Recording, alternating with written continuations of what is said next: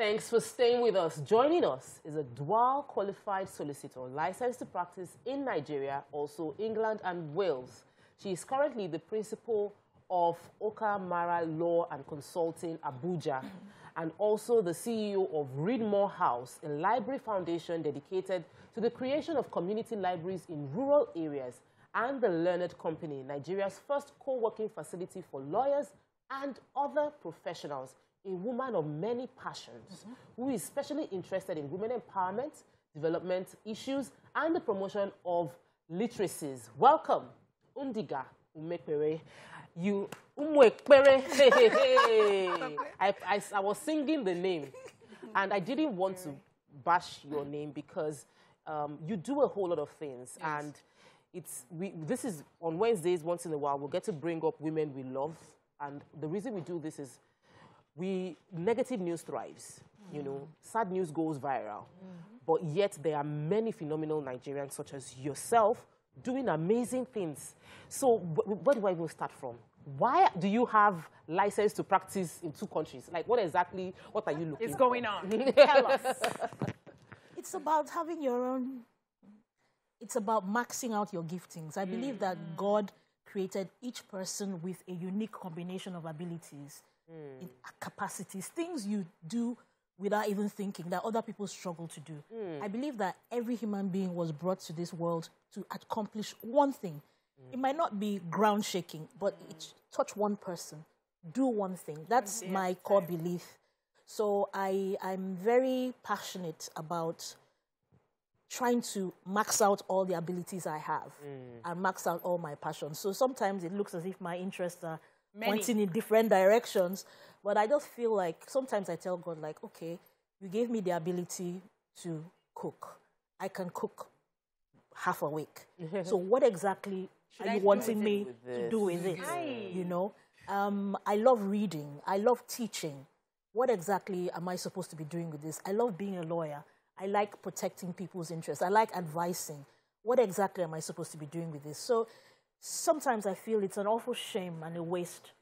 Like if I was given those things, they're supposed to be used for something. Yes. Mm, and amazing. A lot of the things that we are blessed and the abilities we have are meant for other people, mm -hmm. not necessarily for ourselves. Mm.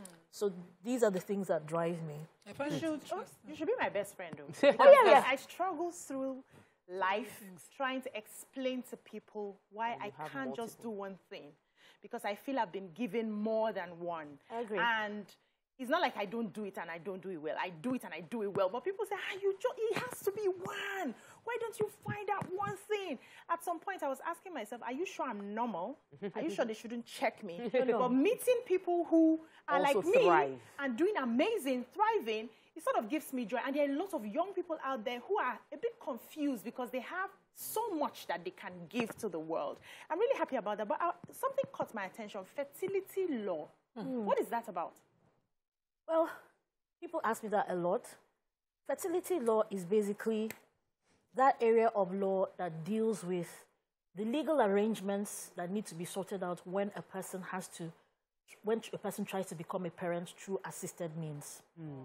So the traditional way is a man and woman going somewhere quiet, and after nine months, yay, it's time for the naming ceremony. You know, but sometimes it doesn't happen that way. Mm. And you have to navigate the realities of, I try to avoid that word of infertility, mm. especially in an environment like ours, where it is really a public yeah. drama, especially as a woman's cross. A woman yes. carries most of the burden mm -hmm. of mm-hmm. being infertile. So what does, what does a fertility lawyer do? A fertility lawyer helps to make arrangements for adoption. Mm. So it's basically an, an area of advanced family law, but which is not very well known in Nigeria. So one of the things I do, I advise parents, intending parents who are going down the route of surrogacy. I advise intending parents who want to use donor sperm and donor egg. And of course, I advise fertility clinics. Mm. So basically, at the end of the day, what do these people want? They want to become parents. So I advise them how to do that within the confines of the law because there are a lot of people out there who prey on the desperation of people who oh, have fertility issues. Yes. And that's one of the reasons why I said I must come for this show. To let people know that in the midst of your desperation and your misery, yes. don't just consult a doctor, consult a lawyer, Lawyer As so that you don't fall prey. You can have the right documentation. Exactly. So you can have the right documentation. I mean, you, recently there was a story about the surrogates and who refused to give up the babies. yeah. And the, the other, the couple came from the US and they were calling Interpol and dragging the girl and threatening her up and down. And I was looking at the story, although you never really know until you know, dig deeper what the facts were. But I, I just figured to myself, if only a lawyer had advised them from the beginning, mm-hmm. mm. maybe some of the drama might have been, avoided. Undiga, because you mentioned it, recently I got a call from a client in Nigeria here visiting a fertility clinic very close to my hmm. to me, and I'm aware of that clinic, and the practice is always shielded in secrecy. Hmm. And I said to her, if I can get your contract, I can advise you. Hmm. She just blanked out. I've not heard from her since then. How much of what you sign into must you have? At least have a copy. You know, you wanted me to come in and, you know, because she was already having issues. Mm. I think the donor was already giving her a problem. Mm. He had gotten a lawyer to write. And I said, Can I see the contract you signed? She said, No, the mm. hospital will not release it. I'm not very vast in fertility law, so maybe there are areas I'm not aware of. Should she have a copy of her contract or not? She should. She should. This is part of the reason why, in fact, my partners and I are deciding that we're going to transform our, co- our, our consulting firm into an NGO so that we can reach more people, and be able to attract some more support and help. There's no reason why you walk into a hospital, you're paying millions of naira ah. Millions. oh. for treatment and somebody would say you are not entitled to a copy of your contract. It doesn't make any sense. You walk into a supermarket and you pay for goods and you, get you your get your receipt. They put And a you can get a second opinion before you go ahead. with Exactly, that exactly, exactly. But Not you even see, when there are issues. people are so secretive when it about comes to fertility issues. most of my appointments are after dark. They say, look, madam, we can't come before dark. Many of my clients arrive at my office in a Bolt or an Uber. There's so much secrecy. See. You're entitled to a copy of your contract. beyond that, you are entitled to seek alternative ways to become a parent.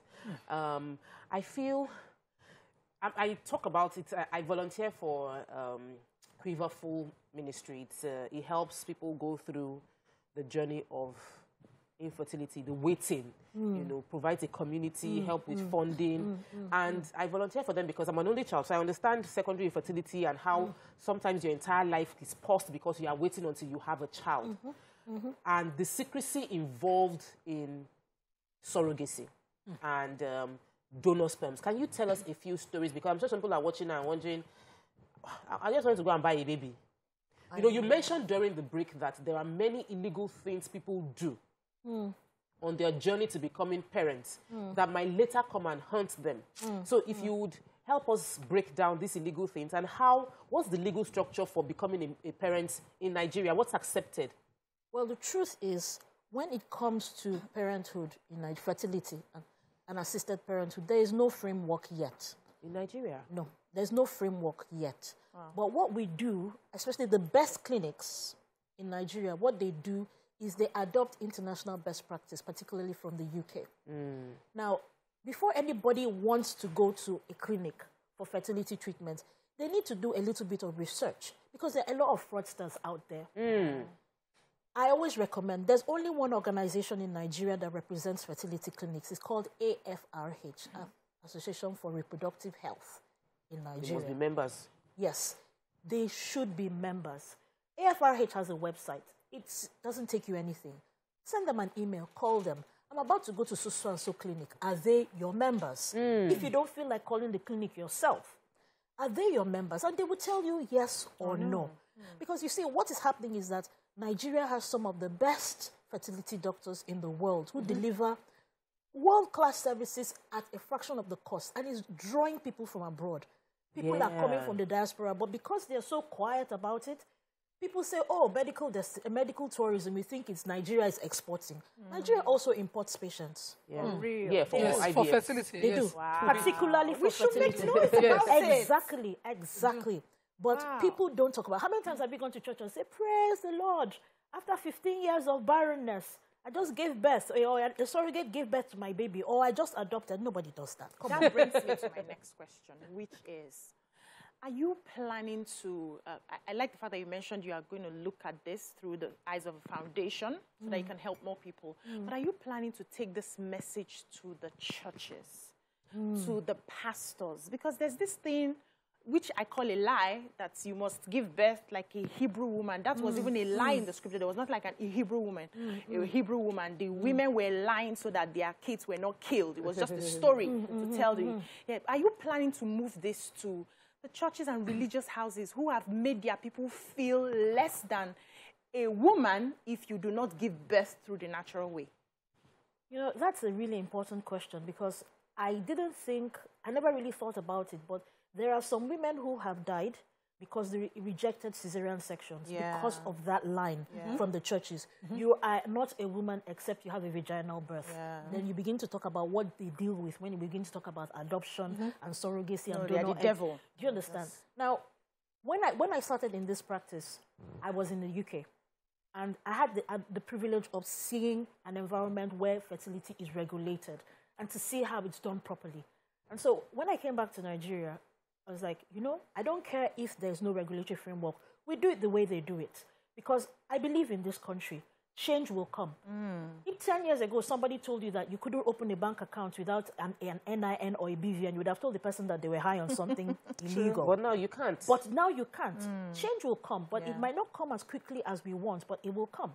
Mm. So while we're waiting for change to come, we'll do things according to international best practice because when your client is exposed to risk, it, that risk outlives the contract. Mm. And tomorrow they'll come back and say, but Undiga, you didn't tell us that so and so and so. So I tell my clients, we draft, we negotiate for challenge. We negotiate not for today, but for the future. Mm. Sure. Mm. And part of my problem is I started sampling, when we started fertility law in England, we started sampling smaller communities. We had a number of focus groups and we spoke, we invited a whole lot of people, community leaders, people who were in a position where somebody would confide in them when they were trying to go down that route. And I found out very quickly that some people told me, your view going for donor egg, donor sperm, and going for surrogacy and going for adoption is incompatible with my faith as a Christian. Wow. Yes, because they were like, now, don't get me wrong, I'm Catholic. I believe very strongly, I can't imagine life without God. But I believe that human knowledge was given for a reason. Yes, yeah. I agree with you. So, but you come across a lot of Christians who will tell you that what God cannot do mm. does not mm. exist. As if they know the how and God I chooses them, I to said, do it. What God does not do, what God cannot do does not exist. But don't you take Panadol? Mm. Don't you take chloroquine? Mm-hmm. Don't you go to the hospital? Why don't you sit down in your house and wait for God to heal you? It's a very difficult discussion to have with people because you get tangled into discussions about faith. And so a lot of the churches actually will tell me, you can't come to my church. Wow. Mm. You don't want to make it an I want to bring this back to you. So yes. people don't know, but you're an expert at civil law. You lectured, you know, contract, torts, business law in Nine university years. in the UK. Yeah. And you're just sitting here pretending one small hey. package. I'm small. Please, let me do this for you. Please, let's talk more about your work. How did you foray from, you know, practicing into lecturing and back? Well, um, I'm a lecturer's child.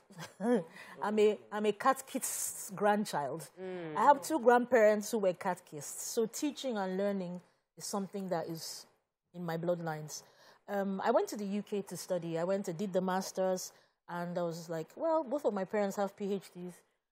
My father told me when I got my first degree was like, congratulations, you're finally literate.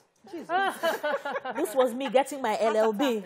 yes, you're finally literate. So getting an LLB was is nothing in a family like mine. My, one of my grandparents actually retired from the Court of Appeal as a judge. So it was natural. I went on to do the master's and then went on to do the PhD. And while I was doing the PhD, people never really talk about how you survive as an international student abroad. Mm. You do all kinds of low life jobs just to put food on the table. Now, I was in the UK with a child. My husband was a junior naval officer, he was in Nigeria, and I had to make ends meet. Mm. So I did all kinds of things. I was a cleaner, I was a carer, mm. I took care of old, old people, people in lunatics, all kinds of things. Everything. I used to tell people I'd do anything as long as it wasn't illegal or prostitution or armed robbery. Mm. I tried it. especially when you're looking for things that are flexible to fit around your studies. So while I was studying, I, uh, when I got onto the PhD program, I was given the opportunity to lecture. And Omo, they were offering me 15 pounds per hour compared eh? to 4 pounds, 5 pounds per hour as a cleaner. Jumped at it. Ah, ah, with my two legs and two hands. You just trust me. What they were doing at the Commonwealth last week is nothing compared to what I did when I got that job offer. And I found out that I enjoyed it, you know, hmm. and um, I was kind of surprised to find out that I actually, people thought I was good at it. You know, sometimes you, I hmm. knew I was born with above average intellectual capacity. Mm-hmm. But to get to the UK and to be told that, oh, we'd like you to teach this subject. I started with one subject. I started with contract. And then they said, oh, why don't you take tort? Oh, why don't you take business law? Oh, why don't you do e-commerce? And I was like, wow, you know, I could do this stuff, you know? I could So really do leave? this stuff. So why leave? And I mean, it was paying me much better than cleaning, care work, and all that. So, um, and I was kind of shocked. They kept me the first year, and they kept renewing my contract for nine, nine years. years. You know, and it fit in very well with doing children and doing postgraduate studies and all that. Ah. It was a fantastic experience. Great. So I want, want to Inspired. bring you back to what you're doing. I, I'm, I love learning. The truth was, I did not like learning as in primary school as a child because I did not understand. Same here. I, I- it felt like a chore, you know. Just let's just do this for our parents. But now. I'm enlisting to go to school and I want to really do well. I don't want to miss class, not because I want to pass, but I want to really, really learn. Second chance education. Yeah, there. you know, and I and I, you're doing a lot in the learning space. Mm. I love your foundation, the opening of libraries, because Mm-hmm. if only we had access Mm. to more libraries, what brought you into having libraries, and and how has the impact of your libraries been, and what what's your goal for that part of your life? Well, the libraries, the library actually, like I said, both of my parents retired as university lecturers. And, you know, lecturers back in the day, in the 80s, they were not very popular people. They were poor. They didn't have money. You know, most of the time in your university town, if you see a car with a flat tire or broken down by the roadside, it's most likely to be a lecturer's car. And that was me with my parents and one old 504. In fact, I even still remember the number BD2804BD. That was my father's car. that was my father's car. And my father believed that we're all girls. My father believed that apart from getting people pregnant, there was nothing we couldn't do. So before we learned how to drive, we had to learn how to check oil, check water, change spare tire. So up till now, if I have a flat tire, it doesn't even occur to me to look for somebody. I say, ah, where's my spanner? Wow. Where's my jack? shit. I know how to do that stuff. James Bond. Yes, I learned how to open contact points and put uh, fire inside because water was always entering my father's car. you are driving, Calabar is always raining. You drive through water, water will enter your contact points. Are you going to sit down there and wait? You hmm. have to look, come, get me matches. You open the contact points, you check it, you burn it, you dry it, you push it to one side. Wow. Then you start driving your car. story And is So so where is the amazing. contact point inside the car? I have no idea. my dear, the cars of today, but if it's 504, I can find my way around 504 with my eyes closed. 504, GL or SR, call me, I'm your mechanic. I can do that one. So, what my nobody used to come to my house. My parents were not wealthy, but come JAMB season, hmm. or more, you see my house will be full of kids sent by their parents. Please help my child get admission. And you know, my father used to use me as a secretary. You said, look, collate all their credentials. Keep the ones that have five credits, including English, on this side. Put the ones that don't have English this side. All these ones here, like this, they are going for REMS. These are the ones that we can actually push. And I just heard my dad. I said, why is it that so many of them they will have a C, an A in chemistry, in physics, in maths, but they can't even get a common C in mm. English. And I asked him, have they not been going to school in English? Yeah. So we thought maybe my dad said it's from the foundation. You, English is a language, not a class subject. Mm. If you don't pass WAEC English, it's a 12 year problem. You can't fix it by going for extramural for six months. Mm. So, what did we do? We said, We have this house in my village, five rooms, God knows how much land. Who is going to live there? One of your brothers came and married me and took me to Edo State. I live in Abuja. Who is going to live there? That was how the library was That born. was how the library was born. So what we did was we started a pilot project in Abuja. When I used to live in the UK, we just put it on Facebook and we started getting books. Oh please, my mother died. You know, said we should give the books to a worthy Your worthy story cause. is so strong, and there are many layers. Like we cannot finish it on this show. We're going to bring you back on a Thursday. It's not women we love. You are more than women we love. Yes, you are a lady of your view. I'm We're gonna bring you you. back. Thank We're gonna thank gist That is so sweet. you know, and we'll properly break it down. But thank you for inspiring us with the time you've spent mm-hmm. with us. It's amazing. We, I have to cut you, but I cannot wait to have you back on the show. I would watch full show to learn all your experiences. Um, please look for Undiga online and Yes. follow her. She's an inspiration. We'll take a quick break. When we powerhouse. come back, we'll continue with the show with another segment. Stay with us. We'll be right back.